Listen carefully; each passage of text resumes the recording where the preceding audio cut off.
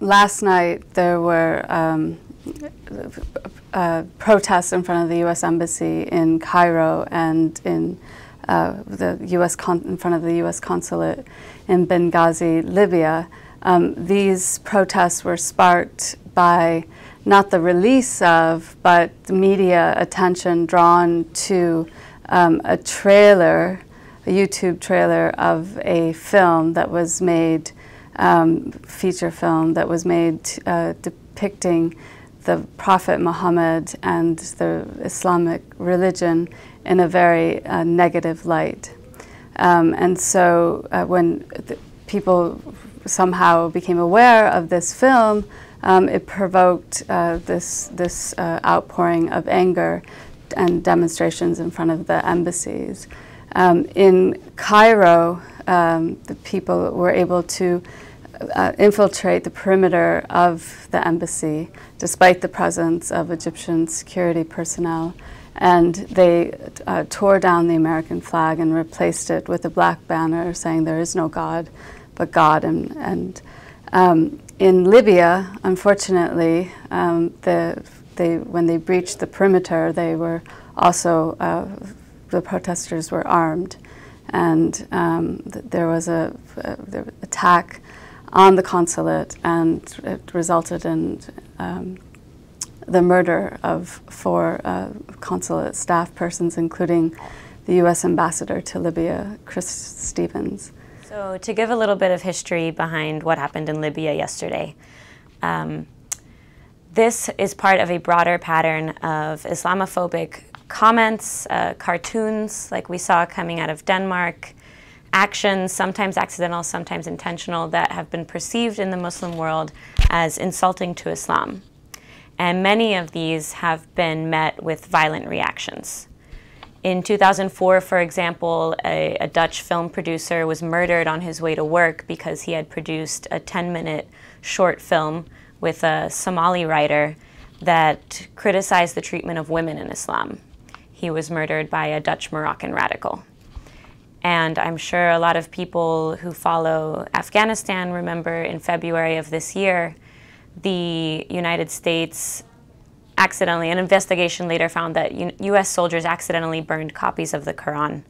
And there were massive protests across Afghanistan. I think over 30 Afghans ended up dying in, in the demonstrations, whether it was by their fellow demonstrators or by soldiers who were trying to protect NATO bases and themselves and six US soldiers were killed by demonstrators, or, or actually often by Afghan security force members. And as I mentioned, the Danish cartoons, which I'm sure most people remember, in 2005, a Danish newspaper published 12 cartoons depicting the Prophet Muhammad. The most insulting one, which many people picked up on, was an image of the Prophet wearing a, a turban wrapped bomb on his head, sort of trying to show that Islam, Islamic radicals use religion as a as a, a, cover for their violence. So, in terms of the broader implications of these incidents, it, they come at a very fragile period of time when uh, both Egypt and Libya are in the process of transitioning um, to democracy and are in need. Um, Egypt, in particular, is in need of, of foreign assistance due to its economic crisis. Um, there was uh, just recently a delegation of U.S. business representatives to Egypt to talk about how um, to provide support, how U.S.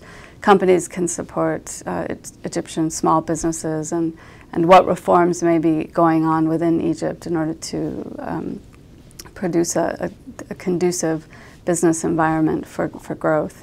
Um, and so that delegation is arriving back to the U.S. against this backdrop. Um, and so there is a lot of concern that this uh, uh, additional act of tension and confrontation and provocation could uh, impact the ability of the U.S. to support these countries in transition. There are several lessons to be learned from what happened in Libya and from what has happened in Afghanistan and some of the other examples I mentioned.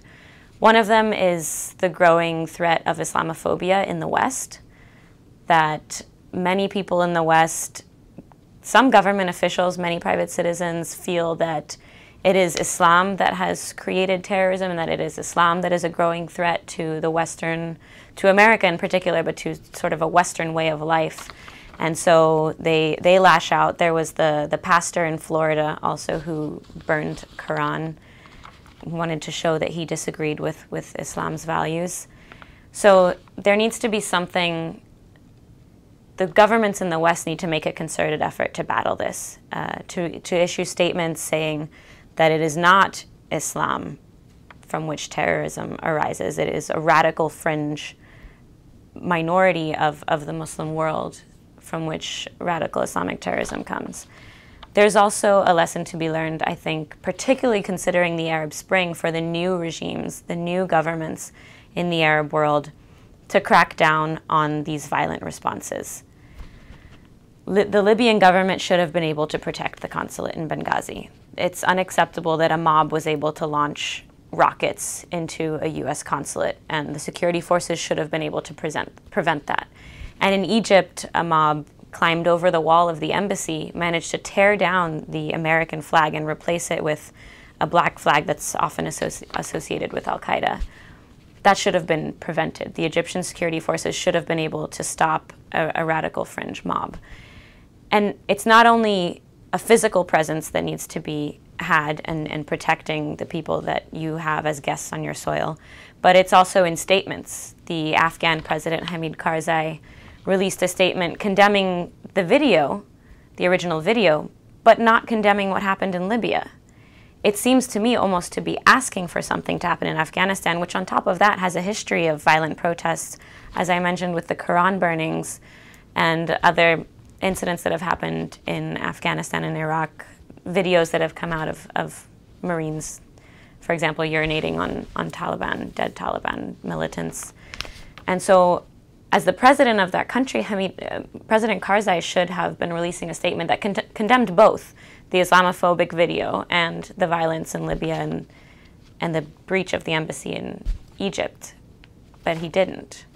So I think that there is definitely a need on the part of Muslim leaders to show that this is also unacceptable, that, that while they too are insulted by these offenses to Islam, it is unacceptable to respond with violence. We have to also understand that the production of uh, films of this nature um, harm relations and I think it's, it's, it's appropriate for Obama to condemn both the, um, the act of provocation by the filmmakers and the violence that took place. Um, and both uh, the U.S. and the officials in Libya and Egypt need to, to work together to, to ensure um, proper security going forward.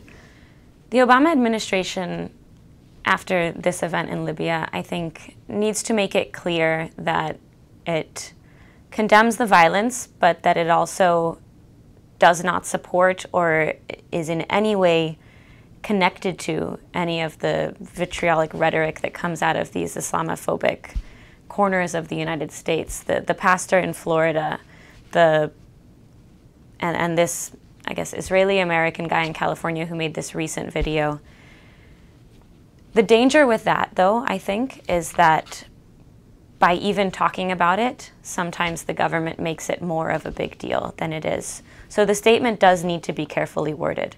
It does need to show we condemn this, we don't agree with anything that was in this video, but we also uphold our democratic values and uh, have freedom of speech laws, and we don't think that it was right, but we can't control and don't intend to try to control every piece of speech that comes out of our country. And I think that's all they can do at this point to make sure that, that the outside world knows that this is not the policy of the US government, the opinion of the US government, but also make sure that Americans know that this is again not the not the opinion of America as a whole. This is not how we want the world to see the United States.